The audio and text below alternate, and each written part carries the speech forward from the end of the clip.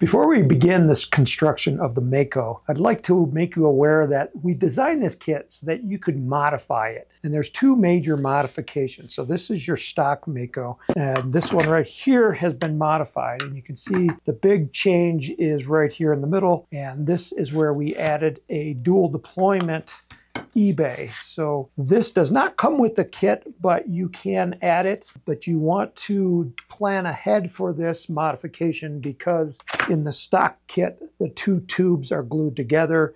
In the modified kit, you have to keep them apart. The other modification that you can do is you can put a 38 millimeter motor mount in the back end rather than the 29 millimeter. And this will allow you to fly the rocket a lot higher and gives you more motor choices that you can use.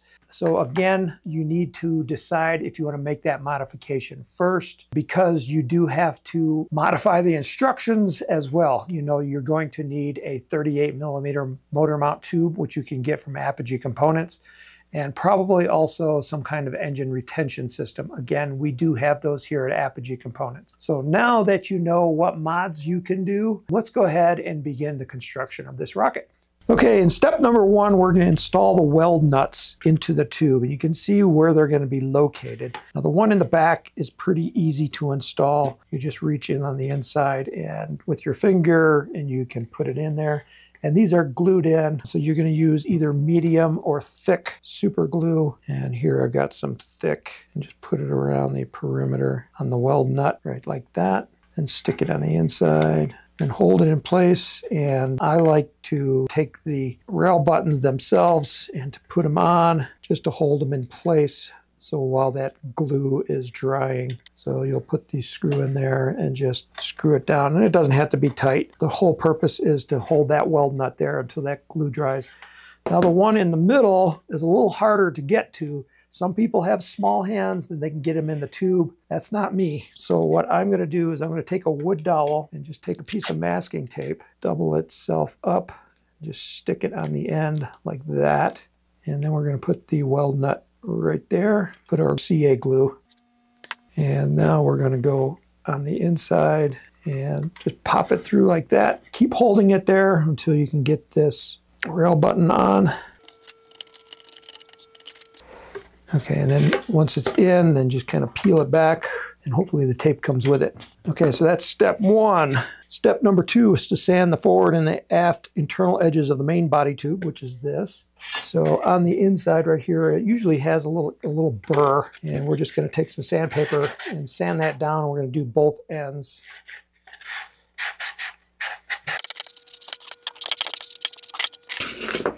Okay, Step three, uh, we're going to take the motor mount tube and we're going to mark it in two spots. First, it's going to be a quarter inch from one end and two and an eighth inch. So, so this will be the front end at one quarter inch.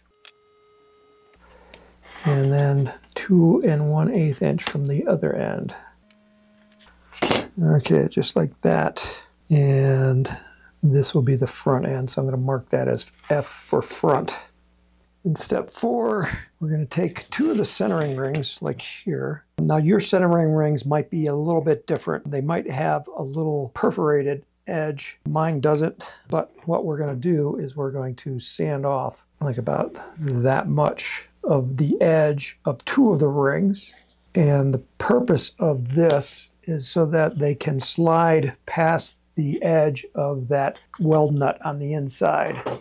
Get some rough grit sandpaper and we'll just sand these down, just a nice flat edge right here.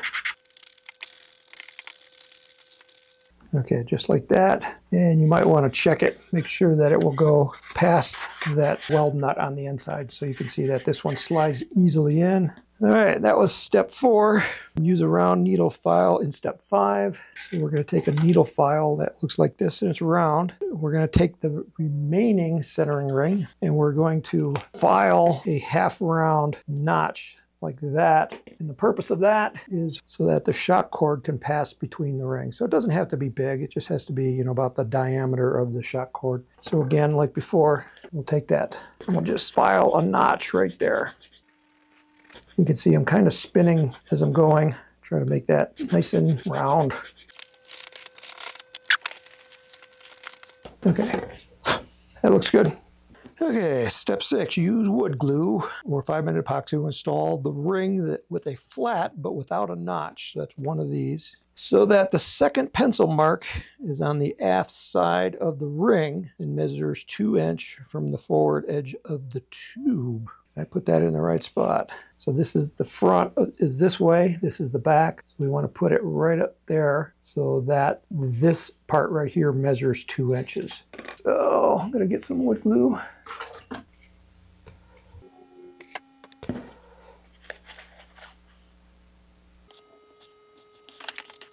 I'll make sure that the line is on this side and also that it's nice and perpendicular to the tube.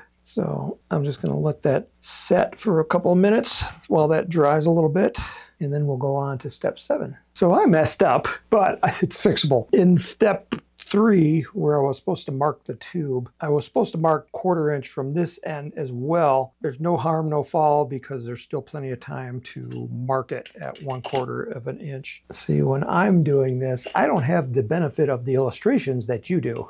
Okay, so there's my quarter inch mark. And then the other one was two inches. So from here to the edge of the tube is two inches, and that's good. All right, so now we're going to take this ring and we're going to take the shock cord. Step seven, we're going to tie the shock cord to the front end of this tube.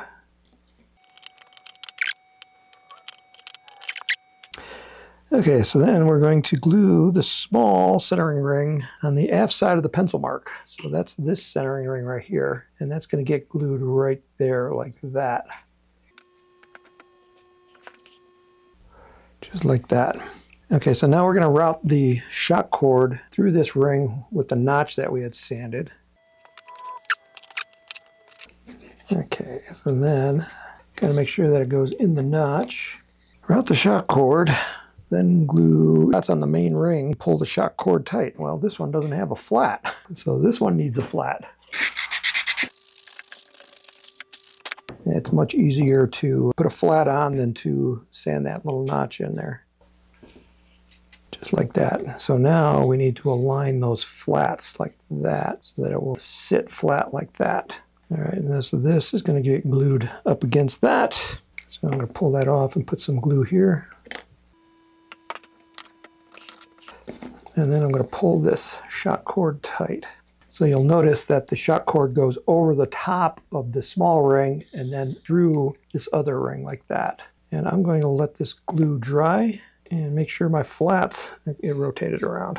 And I'm going to set that aside and let that dry and then I'm going to come back and put fillets on everything so that's nice and strong. So I'm going to let that dry and I'll be back in just a minute.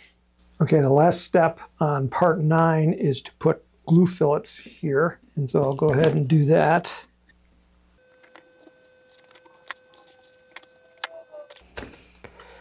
And then finally on this one right here, and I want to put a good glue fillet on the outside where those two rings touch, and then ply it over the shock cord. Make sure that it's attached really good to the tube. Okay, so now in step 10, we're going to take the shock cord, crumple it up like this, and we're going to shove it in the tube just to get it out of the way. And you can take a piece paper towel and shove it in on, on either end just to make sure it doesn't come out. All right, so I'm gonna let that dry and then we'll come back and we'll start putting it into this tube. So I'll be back.